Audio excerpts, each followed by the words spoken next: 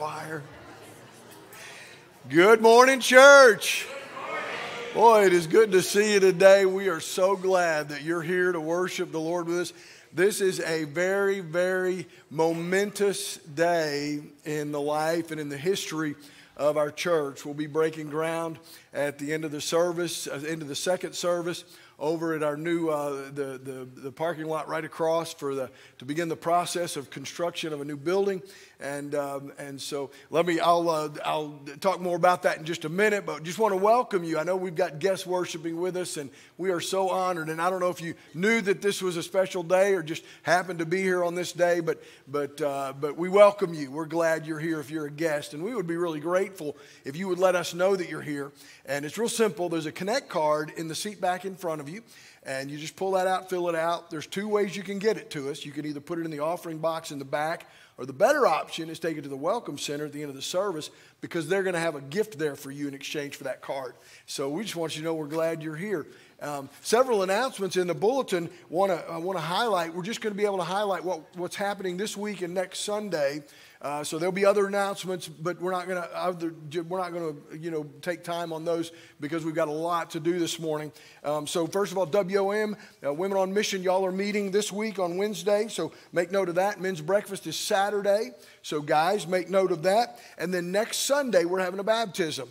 And uh, right now you know, we don't have anybody that we're baptizing in the service, and I don't like that. I like baptizing in both services. We've got a slew of people being baptized in the second service. We always give them a choice what service to be baptized. So if you know somebody, if you need to be baptized, or even if you don't, just let us know. We'll baptize you again, okay? You know, um, we're not we're not above that. And so, uh, anyway, I, would love for somebody. Uh, that, that we know in this service to be baptized. And so, uh, but, but be here. I think I'm believing that by next Sunday, we'll have somebody in this service going to be baptized. So, anyway, it'll be a, a, very special occasion. And then the Super Bowl stuff, you know, the flag football, our students make a big deal out of this, and, and it's a lot of fun. We go to, to um, oh, what's the park we go to? Wallace Riddell. Woohoo! Oh, it's up on the board. All I had to do is look, you know. The I was wondering, you guys are way too smart this morning, okay? you can read. And so that was just a test, you know. And so it's a, just a great time. It's a, we take a picnic lunch, we have play flag football, you know, and it's just a lot of fun. And there's they're gonna there's gonna be multiple games, okay? So adults and then games for youth, and so we'll have multiple games. So if you want to play, we'll have a place for you. And so wanted you to be aware of that. Then other announcements you're not gonna spend time on.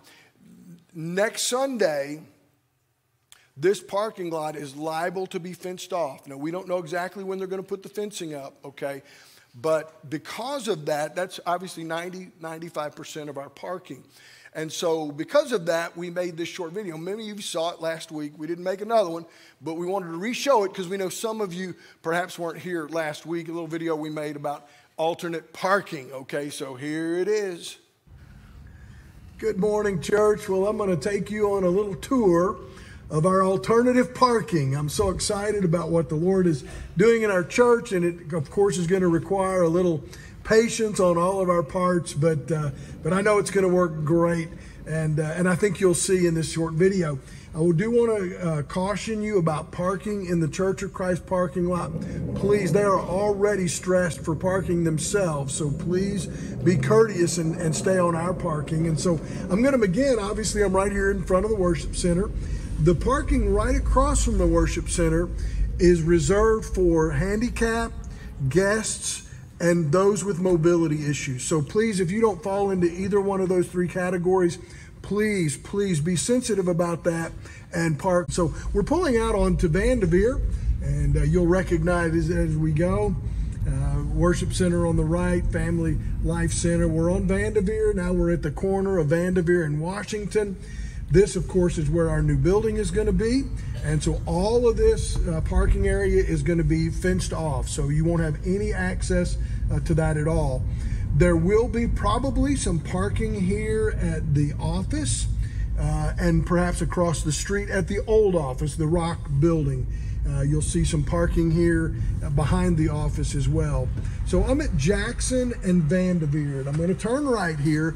This is going to be our one of our primary sources of parking right here. there is approximately 50 parking places, and uh, so we can uh, we'll be able to park here and we'll have a shuttle coming by here not only to pick you up and take you to the worship center but also to bring you back to your car after the service is over and right up here will be a second municipal parking area that we will certainly have access to. Many parking places here. Again, shuttle bus will be coming by here uh, both before and after the services and after Sunday school. So you'll have plenty of opportunity. So we're at the square here at Pierce and Jackson. I'm going to turn right. The whole square we have access to. There is a church that meets at Trailblazers. We don't know exactly how many parking places that they require but we're going to be very sensitive to that. But the whole square, basically, you'll be able to park. We're going to have a shuttle bus coming to the square before the service, after the service, and so uh, it should be very, very handy parking. Again, I'm turning back onto Washington.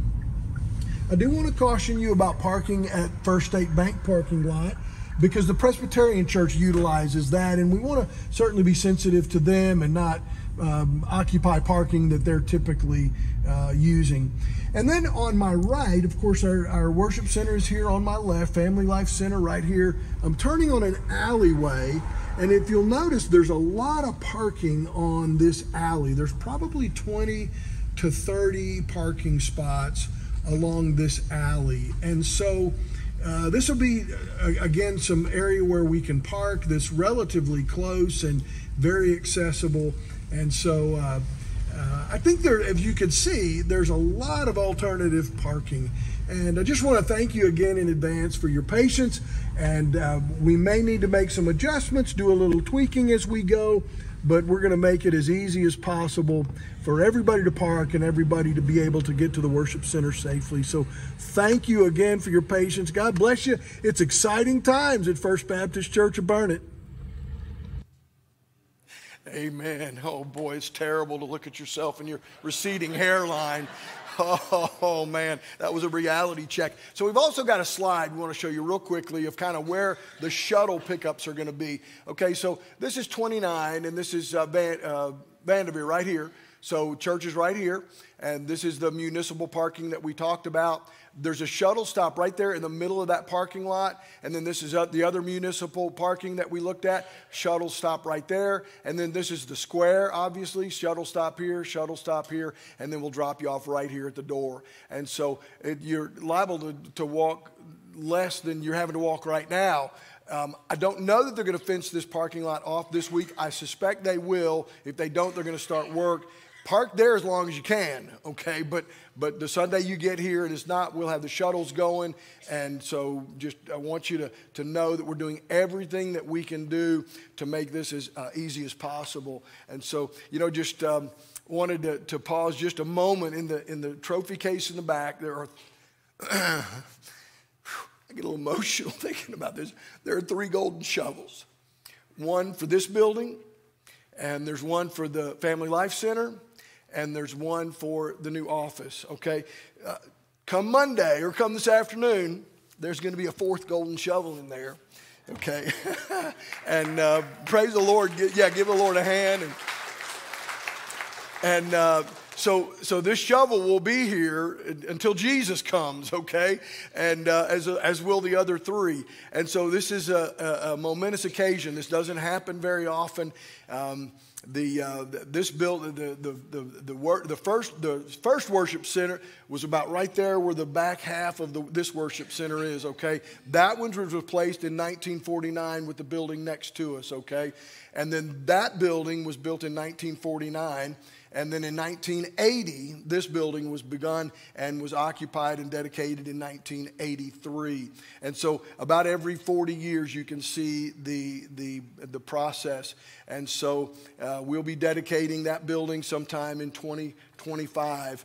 And so, 42 years after uh, this building was built, this building was built 39 years after the worship center right next to us was built. And so, it doesn't happen very often. And we have the privilege of being a part of making history not only for Burnet, but uh, obviously for First Baptist Church. And so I uh, want to encourage you, if at all possible, to stay. It'll be right there. You saw where it was taped off this morning. That'll be where the groundbreaking is. And, and encourage you please stay. And if you're not staying for Sunday school, hopefully you will stay for Sunday school, and then it'll just be right after Sunday school for you. But if you don't stay for Sunday school, come back and be a part of that uh, historical uh, event uh, of the groundbreaking uh, across the corner. So, anyway, we're glad you're here, and we're here to worship the Lord, not build buildings. And so we can't ever lose sight of that. So, so let's begin to worship the Lord. Let me lead us in prayer as we as we begin our service today. Father, we're so grateful for the opportunity of knowing you and. You know my heart on buildings. I don't like them. They're too expensive and they, they take a lot of effort, a lot of time to plan and to build. And, but Lord, we know it's necessary. We know that we're a growing congregation. We know that our facilities, many of them, much of our facility is, is outdated. We know that this facility is, is relatively uh, good, but we know that the rest of it's not. And so we've, over the last four and a half, five years, have been talking about this and praying about this, and the day has come to begin. We're doing it for your glory and for your honor. We're doing it because we feel like you told us to do it. Um, and so we are confident that you're going to bless it and that you're going to use uh, what we do today to bless generations to come until you return, Jesus. And so we're honored to be a part of this historical event. And we just uh, want to bless you. We want to honor you. We're going to sing to you. We're going to study your word. We welcome you here and we ask you to speak to us by your Holy Spirit and give us ears to hear what your Spirit says to us today. In Jesus' name, amen. Amen. Let's stand. Let's sing this together. Amazing grace, how sweet the sound that saved a wretch like me.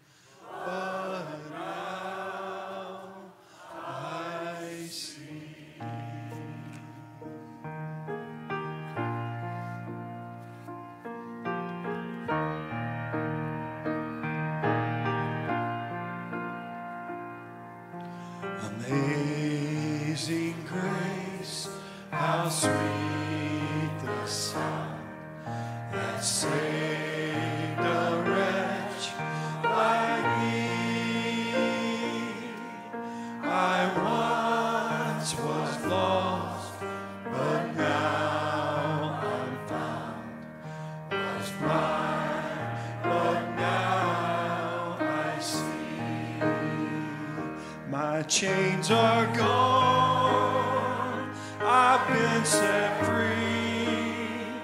My God, my Savior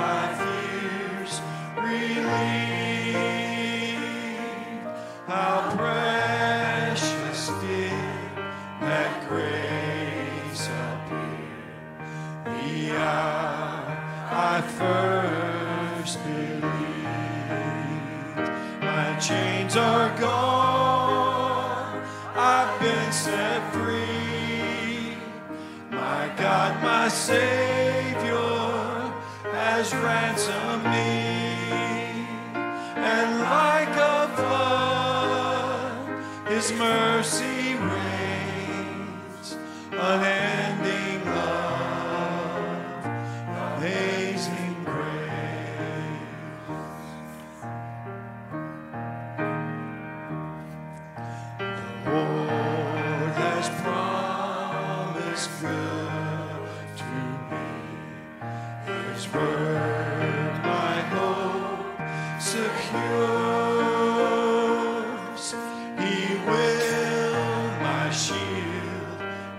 more.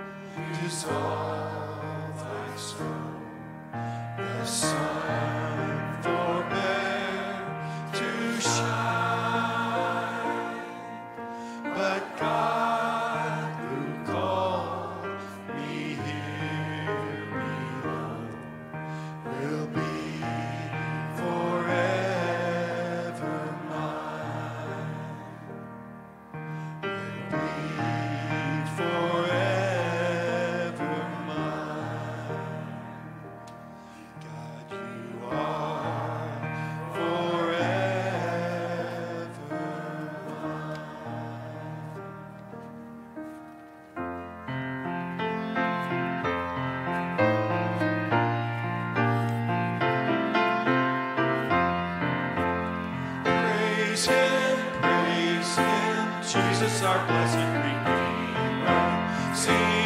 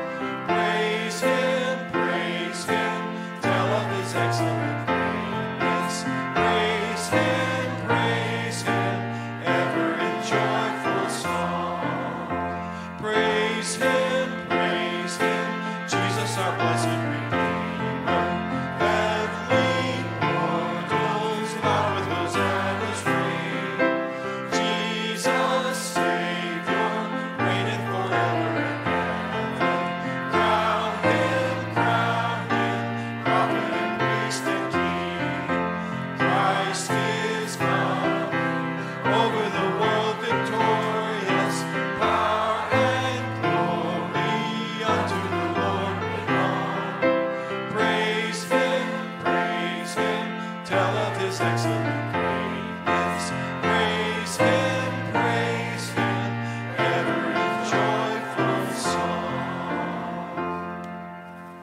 We're going to do a new hymn this morning. I think you'll know it. If you don't, you're going to learn it. It goes like this.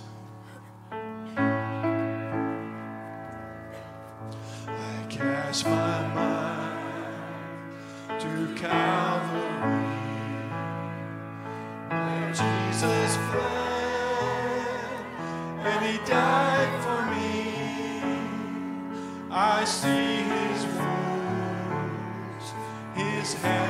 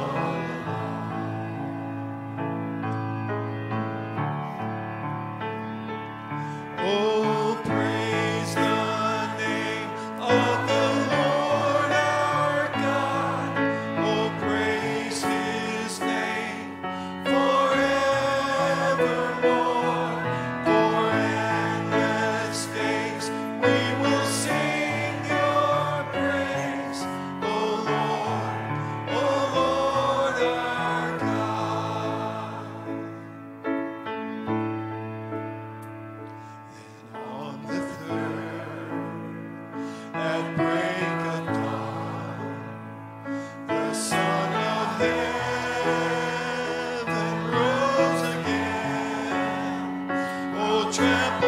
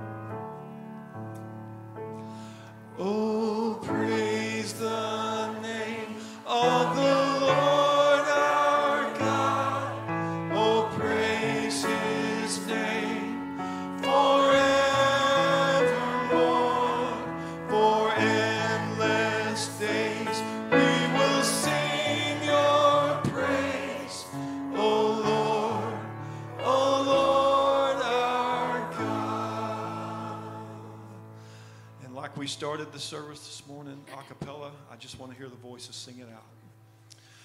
Oh, praise the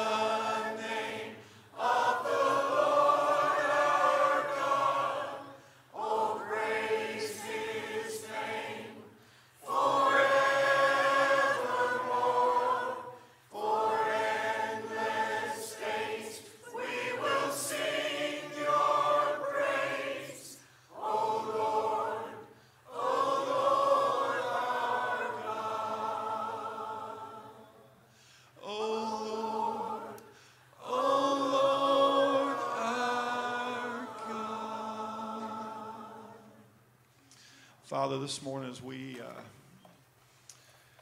we're just here in your presence, God, we know you are inhabiting this place. We're meeting in, in your powerful, mighty name, Lord. We, we love you this morning. We are so thankful for the direction that you're giving this church, this church body. We're thankful for everything that you're doing in the lives of our church family, the healing, the comfort, protection. And God, we just ask for just an incredible protection as that fence goes up around our building. Lord, we ask for a hedge of protection around this church family. Lord, may, may we honor you in everything that we do. In Jesus' name I pray. Amen. You may be seated.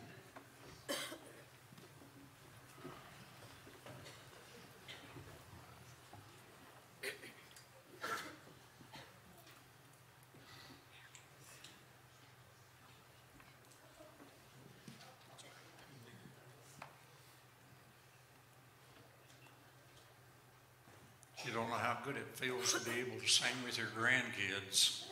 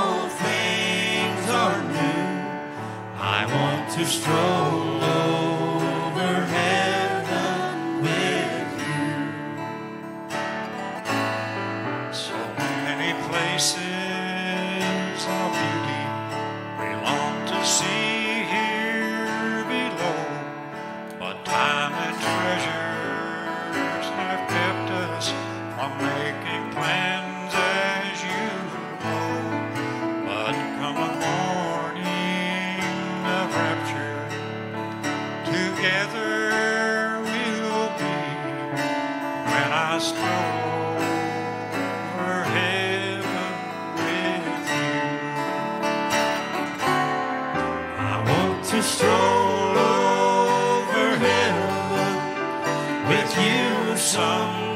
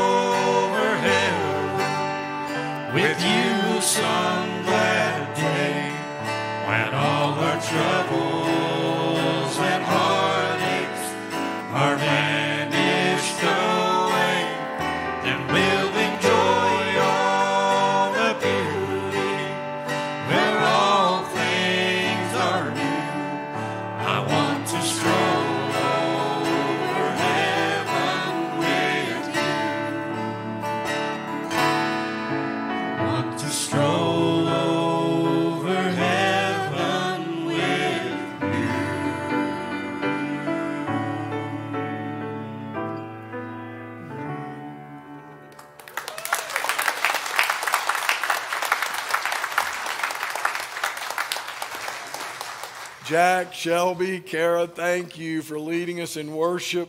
You know, it's so funny that you sang that song. Um, whenever the, the conversation between me and the Lord began about, um,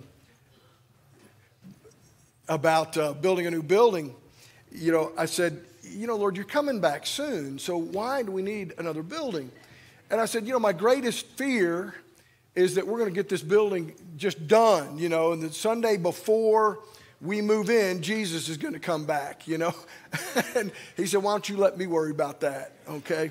And uh, but boy, that's what we have to look forward to. We're going to stroll all over heaven with Jesus and with those we know and love who have gone before us. And uh, so, thank you, Jack and Shelby and Kara, for reminding us of that. One of the greatest uh, promises in Scripture. So, turn in your Bibles to Second Corinthians. Second Corinthians. I've really second guessed myself on this. We began this series, I, I, I say series, series within a series. We're looking at verse 3 through 13, and we began this two weeks ago. And I thought for sure I could get it done. I thought maybe I could get it done in one, but then it became very apparent it was going to take at least two. And now we're on our third uh, message in this, um, in this passage. And we started with two questions. You know, one is if, if you were to tell somebody that you were a believer and they said, prove it, what would you say? How would you prove that you were a follower of Jesus? How would you commend yourself to them? And we saw that Paul is commending himself.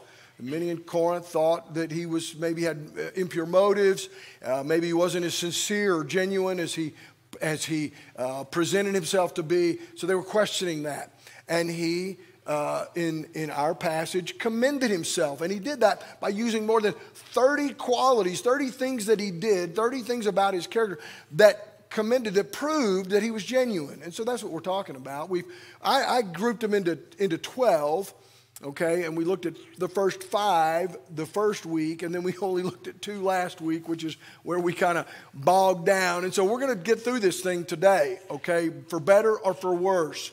Uh, in sickness and in health until death we do part okay? We're going to get through this today. And the, the real problem is going to be in the second service i got to do it quickly so that we can have time for our groundbreaking. So fasten your seatbelts keep your arms and legs inside the ride okay? We're going to look at the, the final five today um, of, of proving we are genuine, these qualities that, that prove that we're a follower of Jesus. So uh, let me remind you of the first seven. Brent, you can put these up as we go. Uh, the first one was we prove that we're genuine by not causing others to stumble. Number two, we're prove that we're genuine by enduring difficult circumstances and how we endure those. Number three, by or they all they're all coming up at the same time. Okay, number three, by enduring persecution and how we endure that. By hard work, we prove that we're genuine by hard work. In our relationships, uh, number five, by the presence of the Holy Spirit and the fruit of the Holy Spirit that comes uh, because of the presence of the Holy Spirit in our life. And then number seven, by our integrity. Okay, these three things are, are in, the, in the verses prior to what we're going to start today. And we're going to look at the, the next ones today, uh, and I'll introduce those as we get to them. So let me read it. I'm going to read all the uh, verses again. This is the third week we've read this passage, but I think it's significant because, like I said, over 30 things he mentions here uh, that he does to commend himself to the church at Corinth. Verse 3 of chapter 6, 2 Corinthians 6 3. We put no stumbling block in anyone's path so that our ministry will not be discredited. Rather, as servants of God, we commend ourselves in every way. So that's the theme. We commend ourselves in every way in great endurance, in troubles, hardships, and distresses, in beatings, imprisonments, and riots, in hard work, sleepless nights, and hunger, in purity, understanding patience and kindness in the Holy Spirit and in sincere love, in truthful speech, and then here's where we're going to pick up, and in the power of God, with weapons of righteousness in the right hand and in the left, through glory and dishonor, bad report and good report, genuine yet regarded as impostors, known yet regarded as unknown, dying and yet we live on, beaten and yet not killed, sorrowful yet always rejoicing poor yet making many rich, having nothing and yet possessing everything. Woo, I love that. Having nothing and yet possessing everything. We have spoken freely to you, Corinthians, and opened wide our hearts to you. We're not withholding our affection from you, but you are withholding yours from us. As a fair exchange, I speak on my as as to my children, open wide your heart also. Let me lead us in prayer. Holy Spirit, we know that you're our teacher.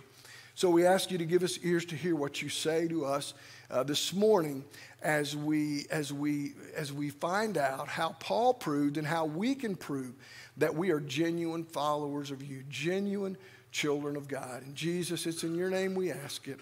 Amen. Amen. All right, so we're on number eight.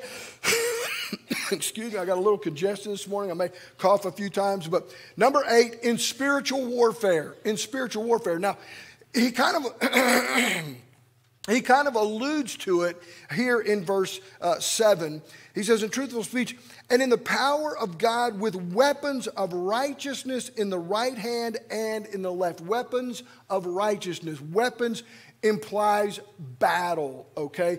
And we'll talk about that. The scriptures are full of passages talking about spiritual warfare. the first one here I want to look at is in our the book Second Corinthians. Go to Second Corinthians chapter 10. It's probably on the next page for you. Just flip over there real quick. And I want us to look. Now we're gonna we're gonna have a whole message on, on this passage here, one of the most powerful passages in, in, in the reality of spiritual warfare. But look at what it says in verses uh, 4 and 5, and, and you'll read it, it's not going to be up on the screen. It says, The weapons we fight with are not the weapons of the world. On the contrary, they have divine power to demolish strongholds.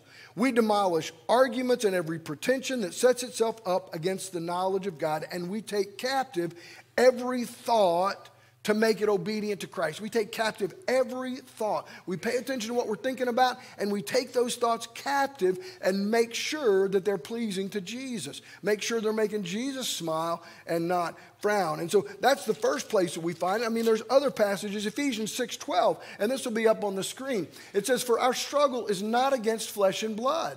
Ours or other people's, but against the rulers, against the authorities, against the powers of this dark world, and against spiritual forces of evil. That's spiritual warfare. That's demons that we battle with that try to talk us into disobeying Jesus. Uh, against spiritual powers of this dark world and against the spiritual forces of evil in the heavenly realms. We're not talking about evil people that are around us. We're talking about evil forces in the heavenly realms. Therefore, put on the full armor of God so that when the day of evil comes, you may be able to stand your ground. And after you have done everything, stand. So then, right after that is the, is the, the armor of God that's listed. And so it talks a lot about spiritual warfare in the Bible. You know, that's important because, you know, I was listening to a preacher not long ago, a very well known preacher. Okay, from a different background. And he said, Oh, we know that there's no such thing as demons, you know. And, and I know Jesus talked about it, but he was, he was making concessions for the, for the superstitions of the people of his day. I nearly fell over. You could have blown me over with a feather. I couldn't believe. I mean, you talk about you talk about taking away the authority of Scripture. You're just saying uh, so much of the Bible. It's not true. It's just super, you know, just superstition. Jesus is just kind of going along, you know. Holy cow! I don't believe that. I hope you don't either. You know. Fact of the matter is, I had a professor in a Baptist university who did not believe in demons. And he taught that openly to his classes. You know, I was there. Boy, we argued with him day after day, and he just, I just don't believe it. I just don't believe. And I'm going, what do you do with Scripture? What do you do with Ephesians six six twelve? And he said the same thing basically. Oh, that was just Jesus making concessions. You know, for the superstitions of the, of the people.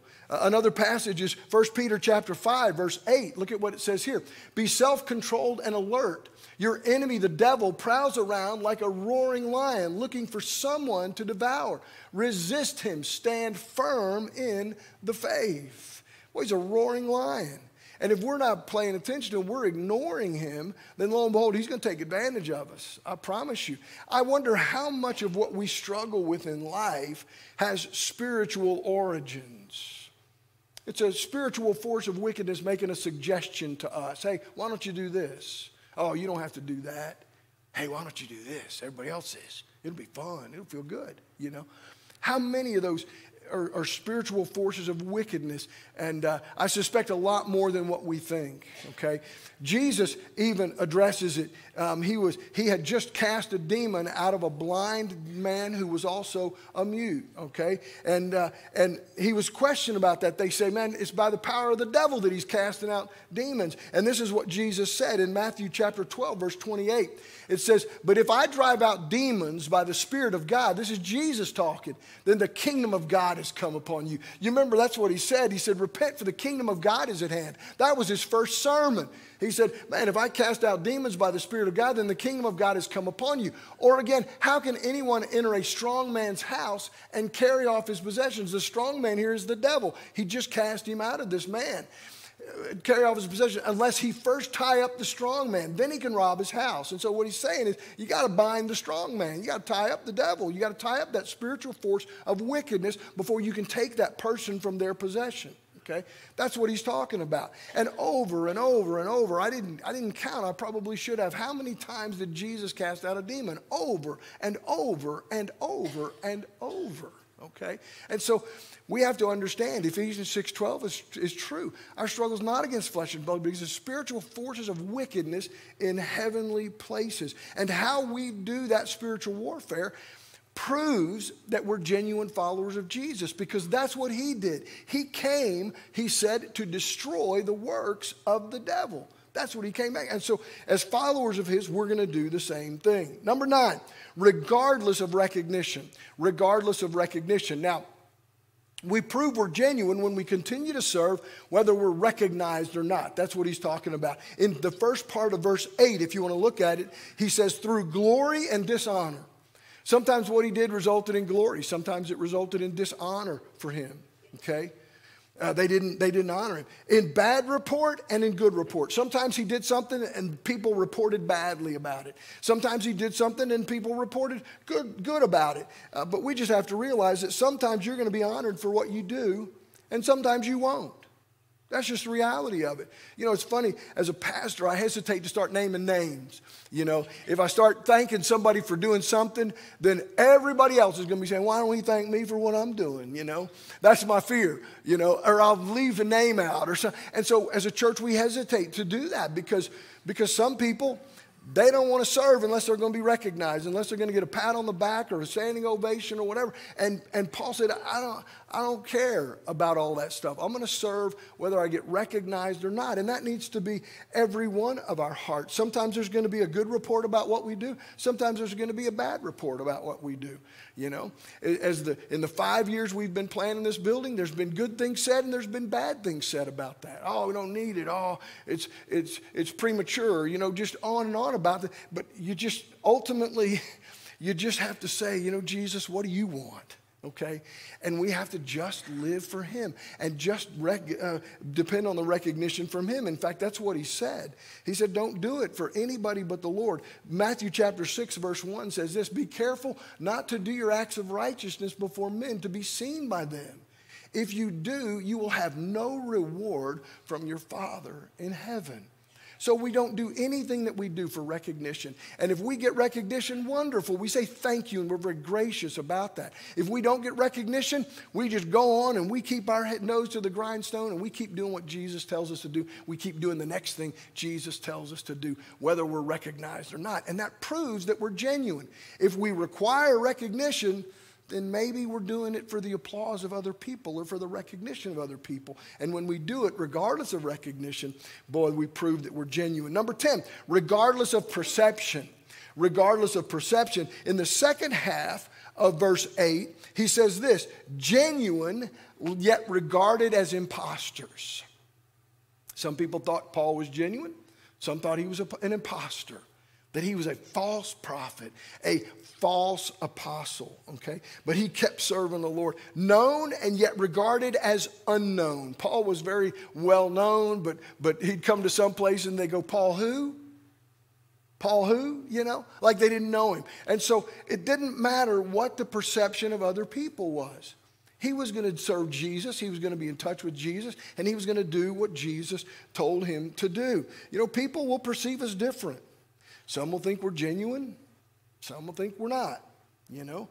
Some will question our motives, some they won't question our motives. To some, we're going to be a hero, to others, we're going to be a heel. And that's just the reality of the world we live in. You know, it's interesting because on occasion, you know, things will get back to me about things that are said about me. In fact, 10 years ago, when this search committee was, was talking to me about becoming, 11 years ago, about becoming the pastor here, they called somebody and they said, that man should never be in ministry. That's what they said. Well, the, the search committee had to pray and discern okay, Jesus, we got this bad report about Doug. Should we consider him as our pastor? And the Lord said, absolutely, yes. And the rest is history. The rest is, and so, so you got to understand, people are not always going to talk good about you or positive about you, okay? But what you do in response to that proves whether you were genuine. I just said, Jesus, do you want me to be the pastor of First Baptist Church? And he said, absolutely. Many other people everybody in the church, except I think there were, there were two, you know, of the final vote said, yes, we believe that's what Jesus is saying. And look at what he's done. Look at the people who have been saved. Look at the people who have joined. Look at what the Lord is doing. Okay? You know, just keep serving regardless of people's perception. You're not living your life for them, you're living your life for Him. Okay? And keep living it for Him. Do the next thing that He tells you to do and keep on doing it regardless of how you're perceived. Live your life for an audience of one. There's only one person that needs to be smiling at the end of the day, and that's Jesus. And if he's smiling, it doesn't matter if anybody else is smiling or not, okay? Regardless of perception. And when you keep doing what Jesus is telling you to do, regardless of how you're being perceived, that proves you're genuine. That proves you're genuine. That's how you commend yourself. Number 11, by living intention. Now, this is interesting. We're going to spend a little time uh, walking around on this one. Living intention. Paul mentions five dichotomies, five things that are completely opposite for, from each other and yet still true in the life of a believer. Okay, so, so what, listen carefully. Number one, dying yet we live on. This is verse 9. Dying yet we live on. That's what he says. You know, in a very real sense, when you became a follower of Jesus, you died. Did you know that? In a very real sense. Galatians chapter 2, verse 20. Look at what it says. I have been crucified with Christ, and I no longer live. We interviewed a youth pastor years ago uh, when I was at another congregation as a pastor. And we interviewed, and we said, "What is your what is your life verse?" This was a verse he pointed to, Galatians two twenty. I have been crucified with Christ, and I no longer live, but Christ lives in me. The life I live in the body, I live by faith in the Son of God who loved me and gave Himself up for me. I want to ask you a question: Have you died for Jesus? If you're a follower of Jesus, the answer is yes. You have died for Jesus. You have been crucified with him, and it's no longer you who live, but it's Christ who lives in you. And you keep claiming that promise over and over and over. Romans chapter 6, verse 3 and 4. This is the, this is the passage that we, the reality that we, that, or, or the, the baptism is a picture of our death. Did you know that?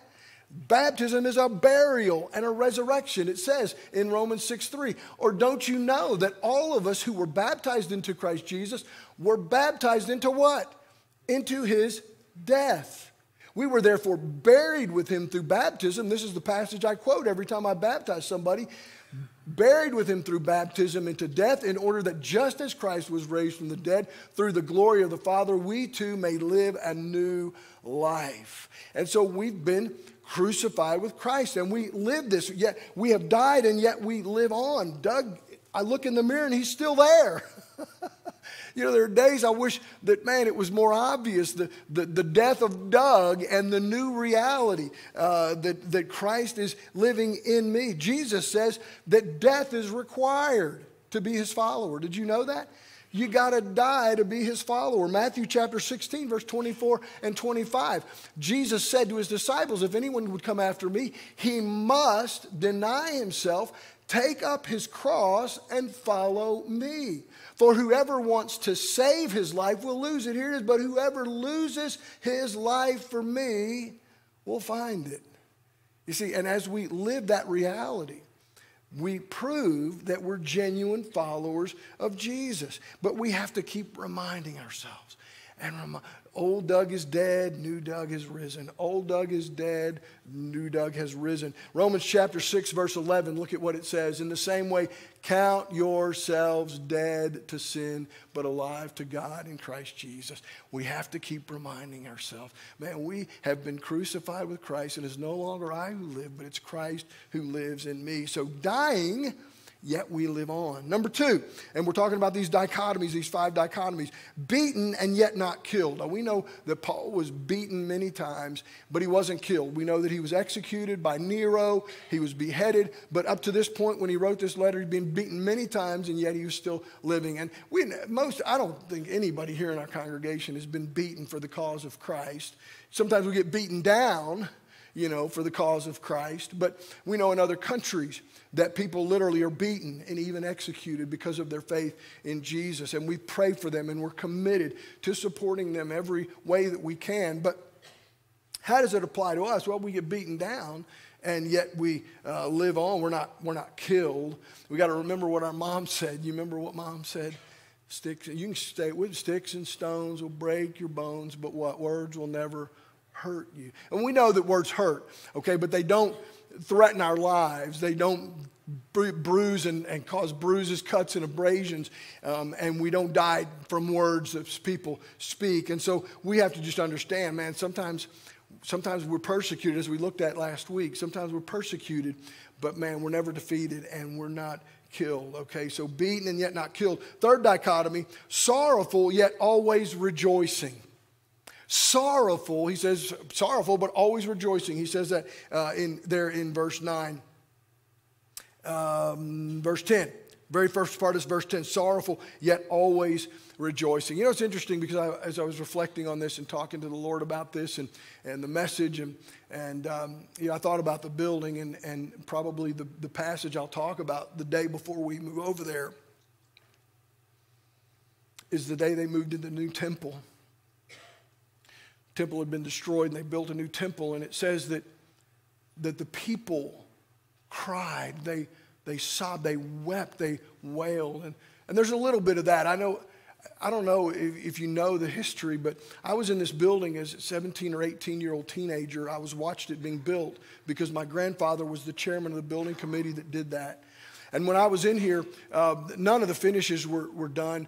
Uh, the outside was done and the windows were in, but the baptistry wasn't done. And they were putting the, the, the, the fluorescent lights behind that stained glass window. My grandfather was saying it's not an outside wall, and so a stained glass window, in order to see it, you got to have light behind it. And so he was describing all that to me. And then we walked out that door around the corner, and that was Pastor Jim's uh, uh, office.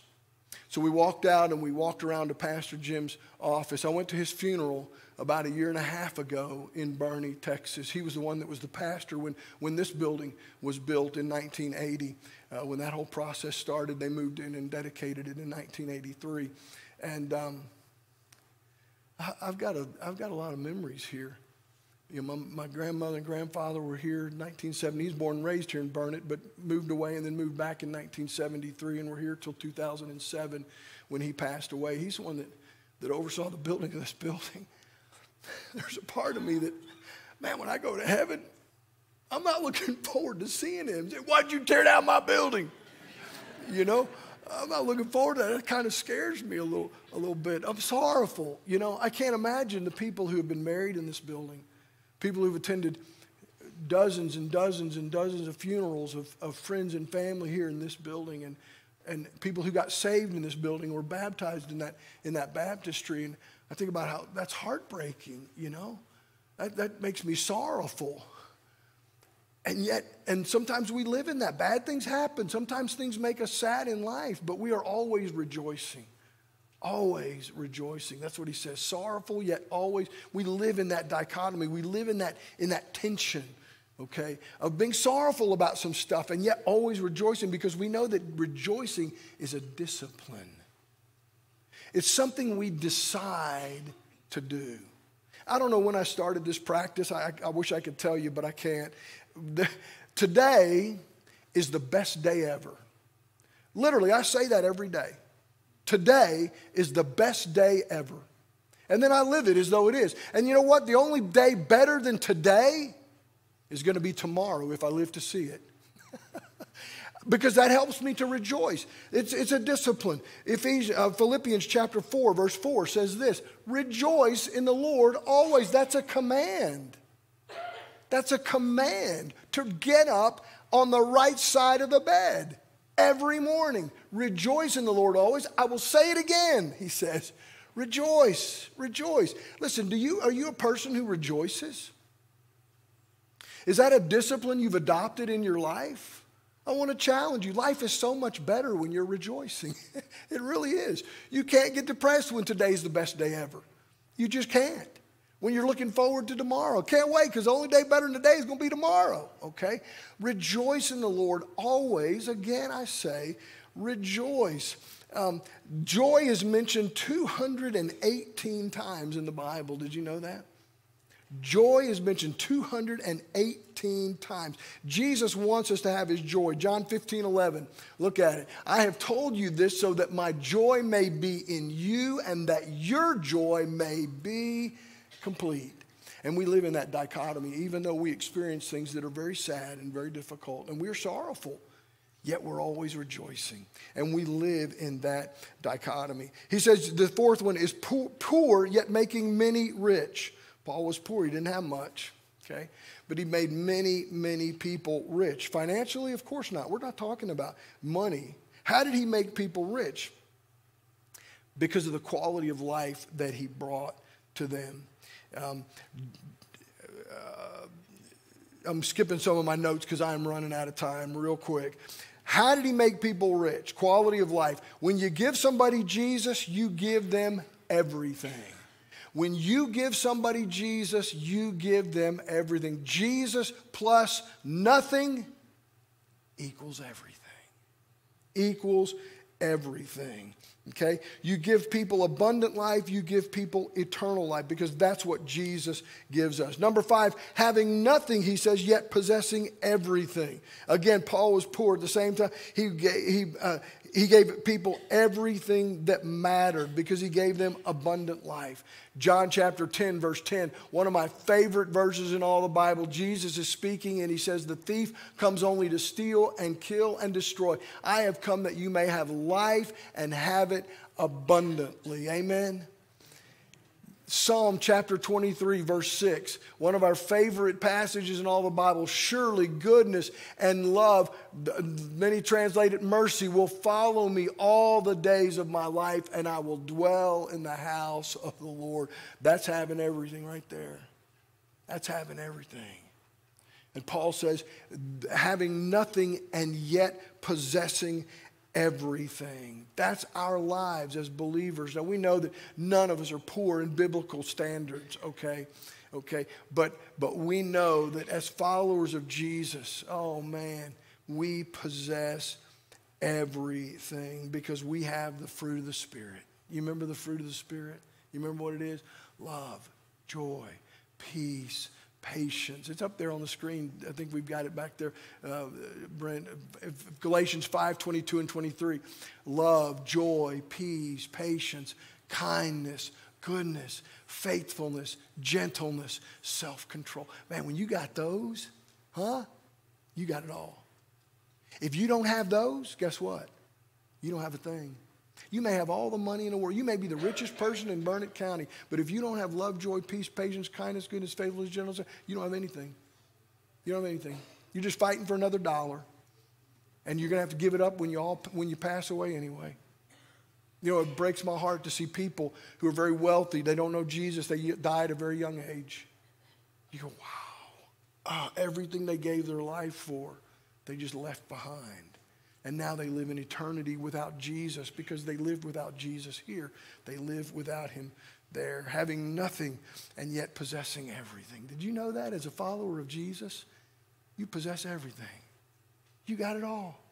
Everything that matters is yours in Jesus. So by living in this tension, we prove that we're genuine. Okay, number 12, very quickly, by being vulnerable even when others are not by being vulnerable even when others are not. This is verse 11 through 13 is what it talks about. It says, Paul says, opened wide his heart to the Corinthians.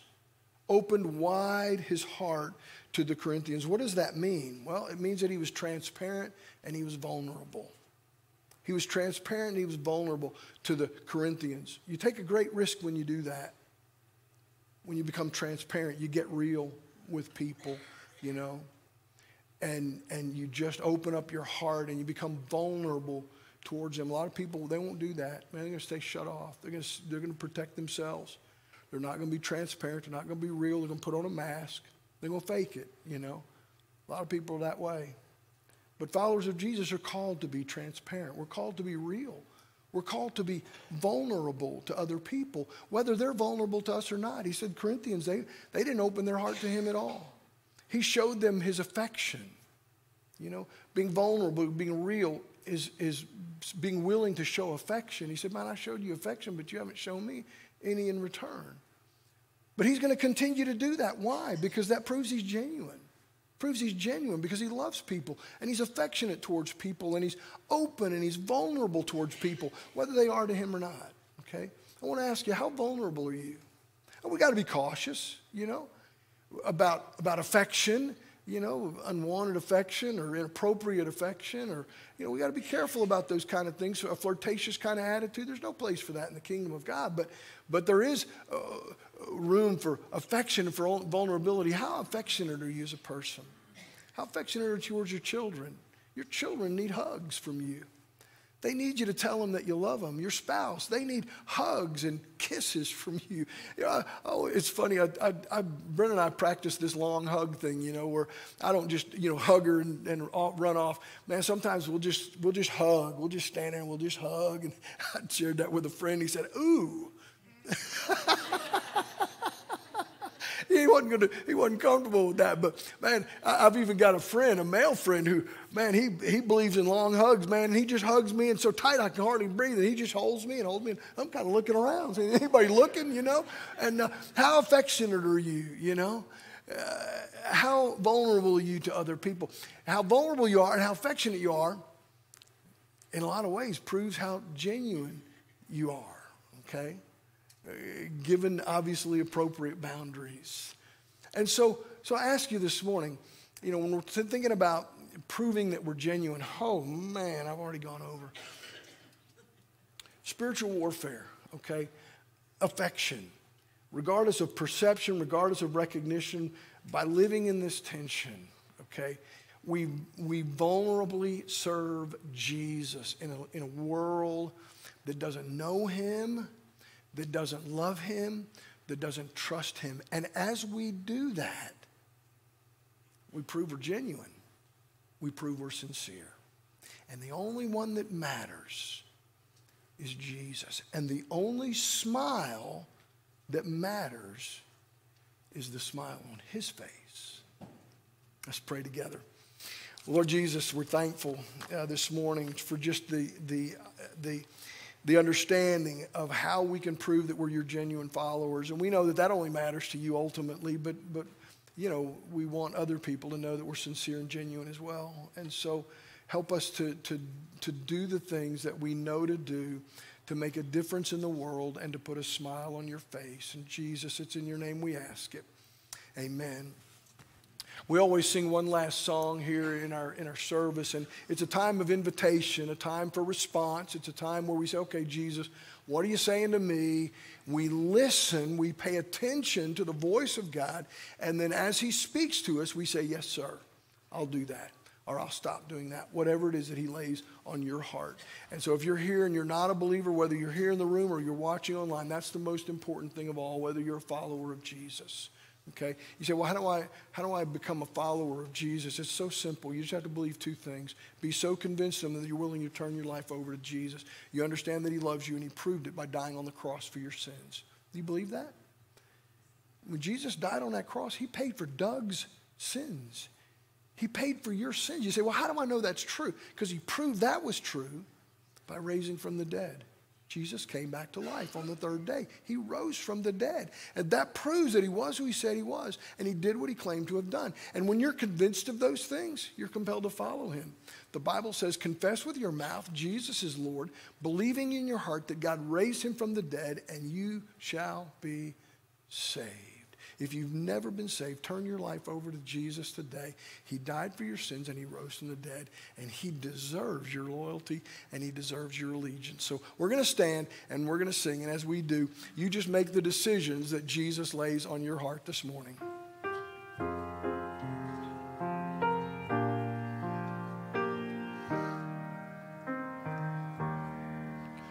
Jesus, Jesus,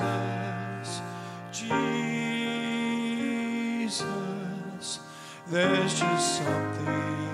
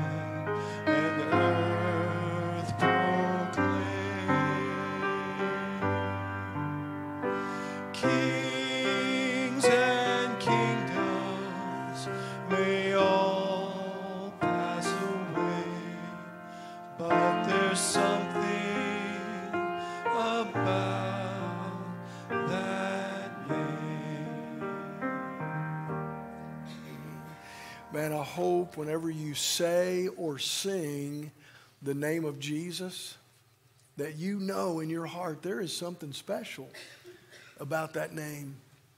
If you made a decision for the first time, whether you're here in the room or you're watching online, to follow Jesus, to make him the Lord of your life, let somebody know that, okay? I'm hanging around here after the service. You can let me know. Let the person know that you came with, but let somebody know that you made that decision so that they can help you know what the next step is. We're having a baptism next Sunday.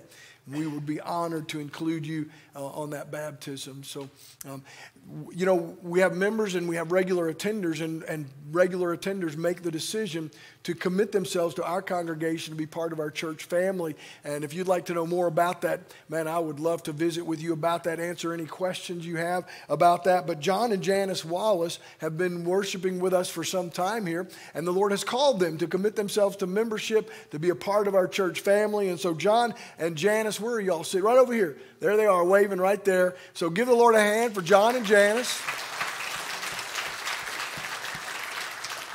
I'm going to grab them. We're going to go out to the foyer, and you come by and welcome them into our church family. Would you do that before you leave? And then don't forget, stay for Sunday school. If you don't, uh, come back because at noon, 1205, maybe 1210, hopefully, uh, we're going to do a groundbreaking, okay? And we want you to be a part of it. So uh, be a part of that special occasion. We always dismiss with prayer. And so, David, would you lead us in that prayer, please? Father, we just know that uh, there is joy in the house of the Lord.